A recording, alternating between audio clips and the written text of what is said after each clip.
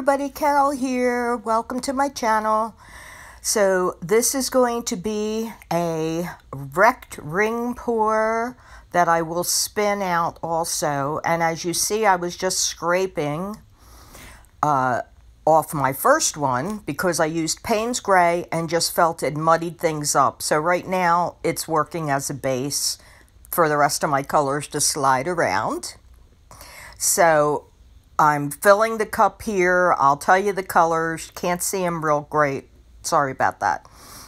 This is metallic white. And then I also used DecoArt 24 karat gold. And then I used a mix of metallic red, metallic blue, metallic purple to get this mm, magenta type purpley color. There I'm just putting more white before I add this color, which is um, metallic cobalt blue with a little metallic white. I also put a little metallic white in the uh, red, blue, purple mix, just a little. And then I'm just going to repeat. That's all the colors that I'm using. And I'm leaving out the Payne's Gray this time. As you can see, I finally got some gloves. They're ridiculously huge. It's all I could find. but I definitely need them for my resin work, so I'm glad I got them. So here goes the ring pour. I don't know if you could tell how thick my paints were, but you could stand the stick up in the cup. Basically a mound on a mound when you're pouring it off your stick. I decided to start big with the ring and then come on into the center and finish out there. My medium is my two parts Elmer's Glue All, one part water, which is like a cup of glue all with half a cup of water. That's basically how I do it. I eyeball it, shake it up in the jug, and let it sit overnight so that it'll settle and get rid of all the foamy bubbles. If you use it right away, you're going to end up with a whole lot of teeny weeny little white um, bubbles that pop on your painting, and that's not good at all.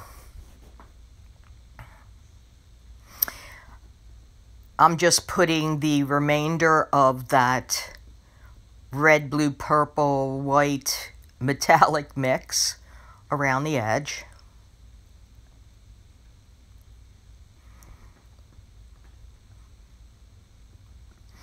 So besides the medium of the glue and water, as I was saying, I have still been adding the Liquitex High Gloss Varnish just maybe half a teaspoon to each cup of paint and mixing it in before I put in the medium. And I'm working with three ounce cups, maybe two ounces of paint. So that's why only a tiny little bit.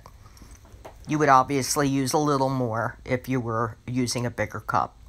So now here I decided I'm going to wreck it with a fork and try to get those really cool feathery formations happening.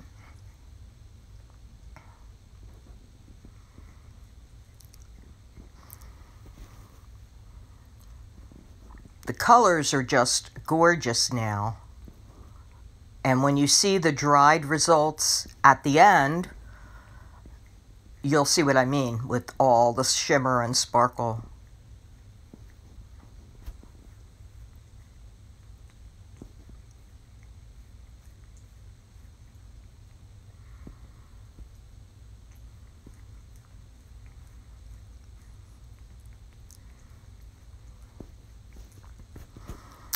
So I want to thank you all for visiting my channel.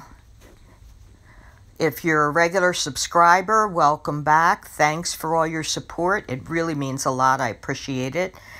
And if you're brand new and if you haven't subscribed yet, please consider doing so.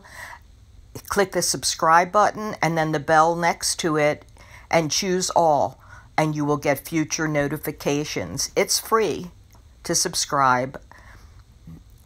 I really appreciate it. And share this video too if you if you like it.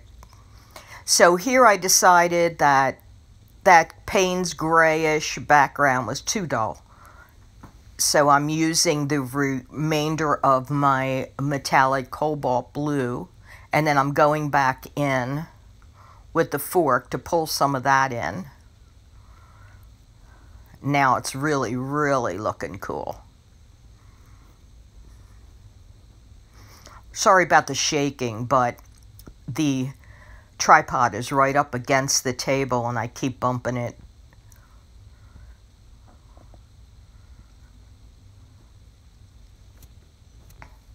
So I've been working with resin. I made my own six coaster mold with silicone. Watched uh, quite a few artists do it on YouTube, starting with uh, Julie from Pouring Your Heart Out. And uh, I think it worked. And I will be filming that very, very shortly.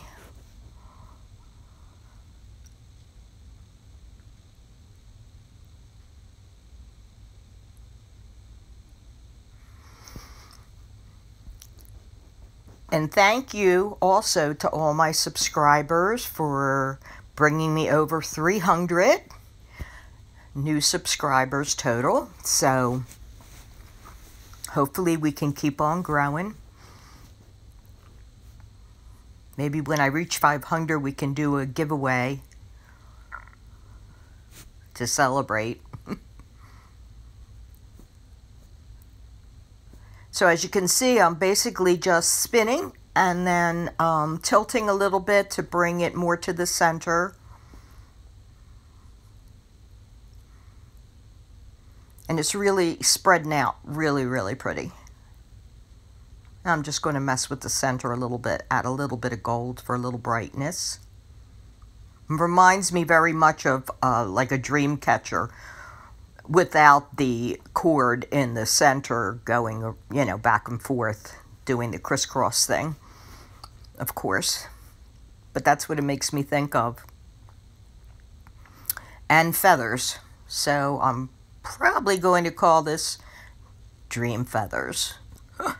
so my last torch and stay tuned for the dried results coming up in just a moment. Wait till you see how really sparkly. Look at all the details. It's so much better when you look close up. So I hope you like this. Um, all the paints and information about my mediums, Facebook, Instagram, etc., etc., how to contact me is in the description below. And thank you again for watching. And I will be back again soon. And until then, please stay safe, be kind, and have a great day.